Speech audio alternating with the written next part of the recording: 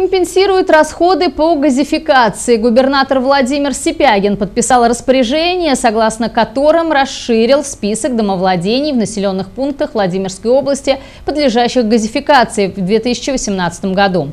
По информации Департамента социальной защиты населения, областной администрации, собственники жилья, постоянно живущие в подлежащих газификации населенных пунктах, имеют право на частичную компенсацию расходов по газификации домовладений – в связи с этим более 400 семей дополнительно приобретают право на компенсационные выплаты в общей сумме свыше 9 миллионов рублей. Решение о назначении выплаты принимает учреждение социальной защиты по месту жительства гражданина. Для этого в орган соцзащиты необходимо подать заявление и представить документы, подтверждающие право собственности на газифицируемое жилье, постоянное проживание в нем, а также необходимо подтвердить произведенные затраты. Возмещаются фактически понесенные расходы, но не более 23 тысяч рублей. Всего в областном бюджете этого года на выплату компенсации заложено более 17 миллионов рублей.